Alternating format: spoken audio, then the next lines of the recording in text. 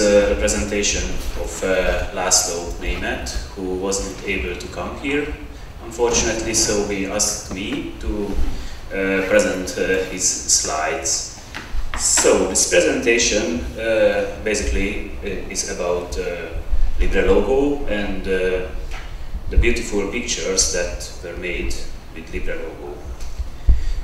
So, I hope everyone knows what LibreLogo is, but uh, if someone uh, doesn't know that, uh, he or she can look it up from the Wikipedia. So, now we have a Wikipedia article. LibreLogo is a logo type Python programming environment that uses interactive turtle vector graphics and so on. And the good thing is that uh, this uh, Wikipedia article wasn't written by uh, Laszlo, but some other people from the community who actually uses uh, this uh, piece of software and thinks that it should be on the Wikipedia. Also, we had some uh, articles uh, in, in Hungarian uh, press about LibreLogo when LibreOffice 4 was released. This was the first version of LibreOffice where LibreLogo was included by default. Uh, it demonstrates well that uh, the vector graphics uh, produced by LibreLogo looks well in print. Then this is uh, another uh, article which uh, which is about the development of LibreLogo. So our press coverage, at least in Hungary, is not bad at all. But Michael Meeks also mentioned LibreLogo as a key feature in his uh, keynote uh, on FOSDEM. So, uh, the goals of uh, this project.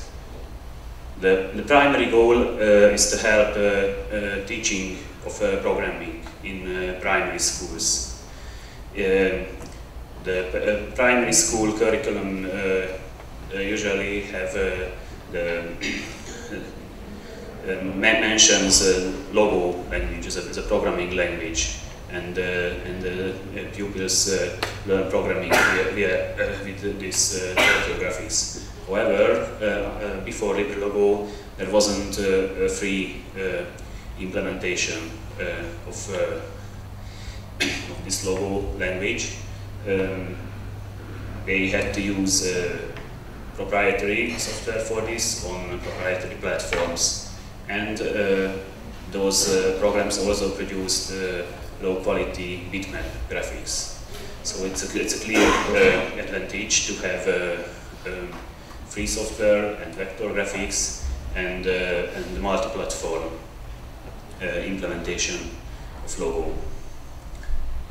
It uh, also helps um, the children to learn the basics of word processing, text editing, image handling, and uh, it helps the accept in the acceptance of uh, LibreOffice in, in, schools.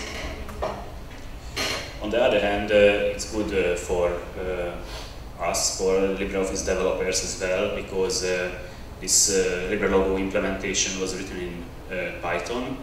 It's less than uh, 2,000 lines of code, so it's not a big program. However, it serves as a test bed of the Py you know, uh, uh, framework within LibreOffice. And uh, the, the, simplicity can attract more future developers. So these are some uh, example uh, pictures that were uh, created purely by LibreLogo with a few lines of logo code. I will show examples, uh, more examples later. So as I uh, said, the uh, acceptance and um, of uh, LibreLogo is uh, quite good uh, in uh, some countries. Uh, this, these pictures were made on a Brazilian conference. and it shows that um, teachers in, in Brazil started to use LibreOffice in, in their work. Also in Hungary, uh, there was a, a, book written about LibreLogo. Uh, it was written by a teacher who uh, uses uh, LibreLogo in her everyday work. So uh, this uh, book starts from the very beginning, at a very basic level, and, and leads up to the entrance exam in programming uh, at, at um, for the university.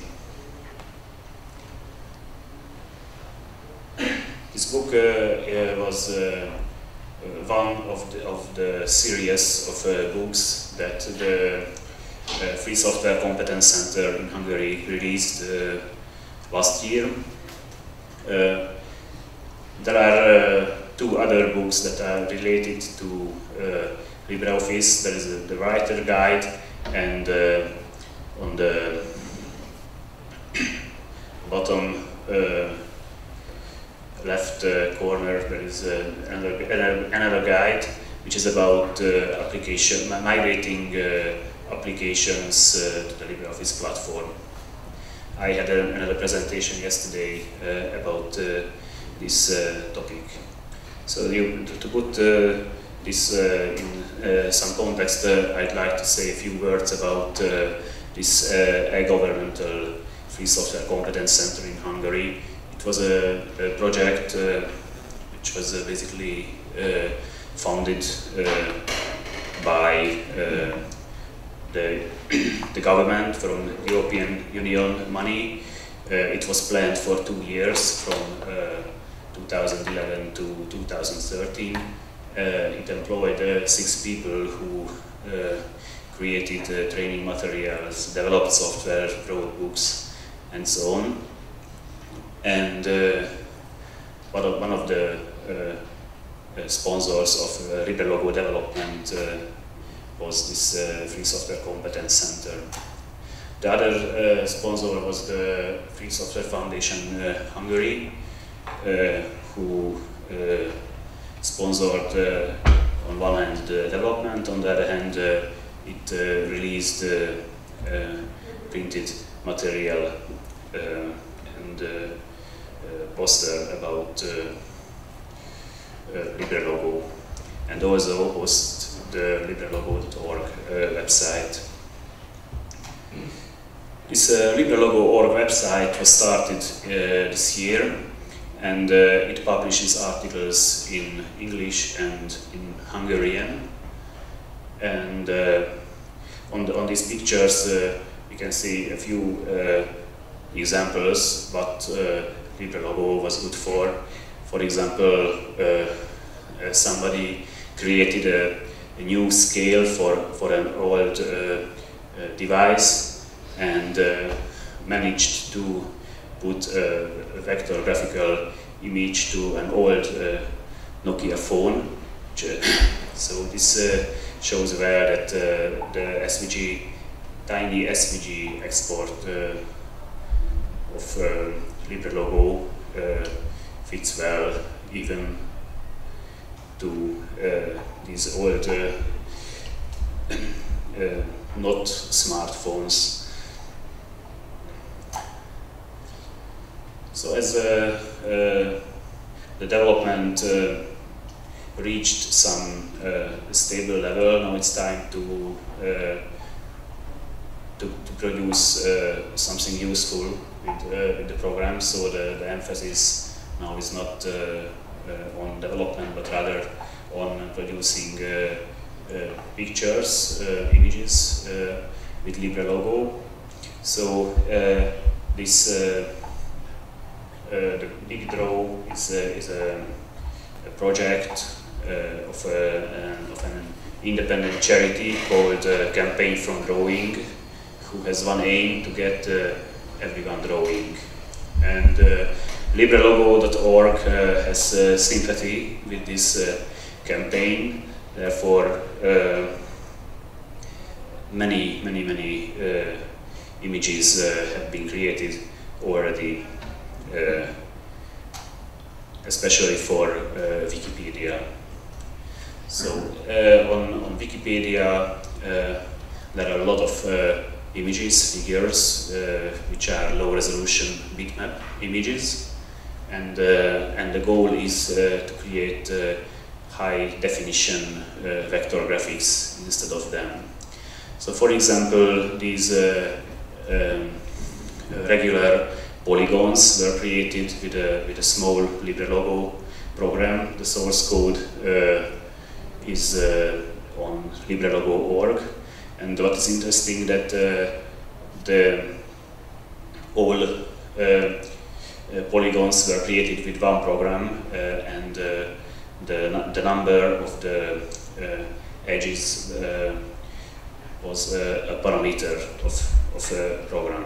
So you can think about how difficult it would be to uh, create uh, each uh, uh figure uh, separately. It, uh, it's much easier to create them uh, programmatically. Also, uh, the next uh, example, these RGB color wheels. I don't know what's wrong with this projector, but the green is, is yellow and so you can you cannot cannot really see what, what, what it looks like probably oops it's it's better now okay so now, now you can see see the colors also uh, uh, these uh, hexagonal chess variants uh, um, were, were created uh, with LibreLogo and uh, the chess figures are from special Unicode fonts. So the, these are not geometric shapes drawn by you know, one by one, but uh, LibreLogo can can use uh, fonts and uh, and position uh, the characters within very, very precisely. So this is a, a trick for creating uh, complicated uh, drawings. Another, another example for Wikipedia, this uh, sleep symbol, which uh, was standardized.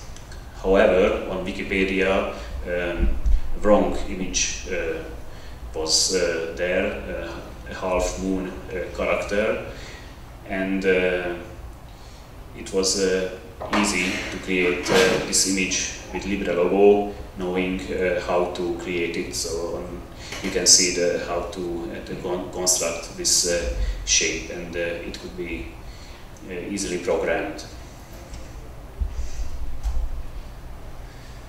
And then another example uh, is a, a, mathematical problem. So how can we tile a square using other squares whose uh, sizes are all different and have integer lengths? The boy who loved math. The boy who loved math, yes, it's Erdős, the, the famous uh, Hungarian uh, mathematician. Uh, so this uh, was one of uh, his problems and and somebody proved that the minimal solution uh, to this problem is uh, that we can see on this uh, image. And it would be hard to, to draw this by hand in draw. However, it's only about 50 lines of code in LibreLogo. The source code is also on uh, LibreLogo.org. Or it's been also proved that uh, there are uh, that many uh, convex tangram shapes and this could be also produced very easily with LibreLogo. It's also have been uh, put to Wikipedia. Yet another example of this uh, um, Reutersvärd triangle, which is a shape that uh, is not possible in three dimensions. So it's an optical illusion.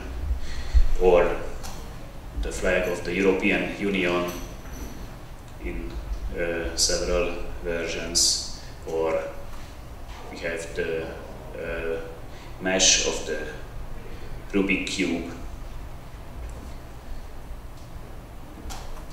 This is another interesting uh, example, this uh, 1,2-dimethyl chicken wire molecule which uh, started uh, as a joke, but uh, it was uh, synthesized since then. So now it's a, it's a real, real molecule that it's possible to, to create.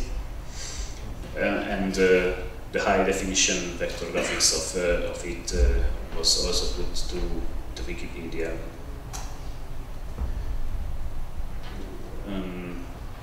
Sometimes this year was the 2000th, 200th anniversary of colored chalk, and for this reason, this uh, SVG was uh, created.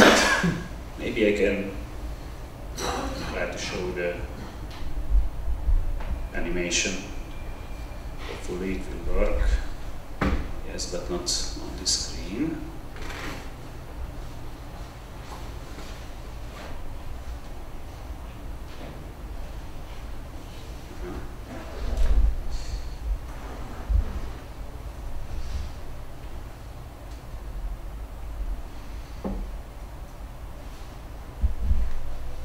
So Libre Logo is uh, capable of uh,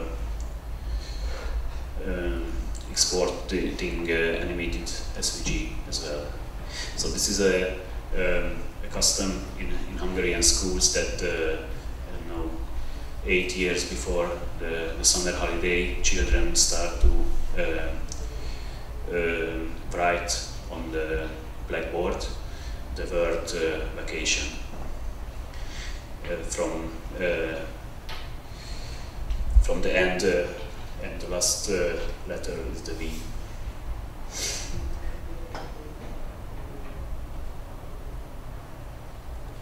Okay.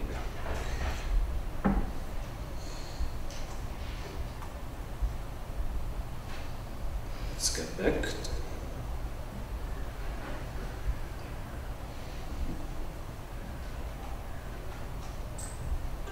Okay, we are here. So uh, the future plans uh,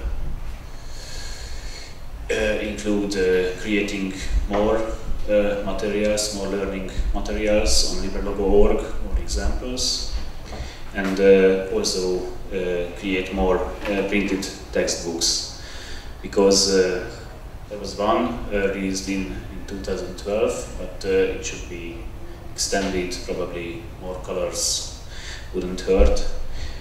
And uh, Laszlo wanted to demonstrate that uh, it really looks good even in, uh, in when we zoom into the uh, cover of the book. So the, the vector graphics uh, are real, real cool even in high DPI resolutions.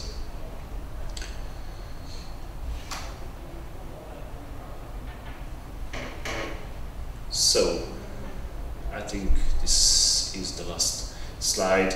The people who helped uh, to create uh, LibreLogo and LibreLogo.org. So that was it all about. If you have any questions,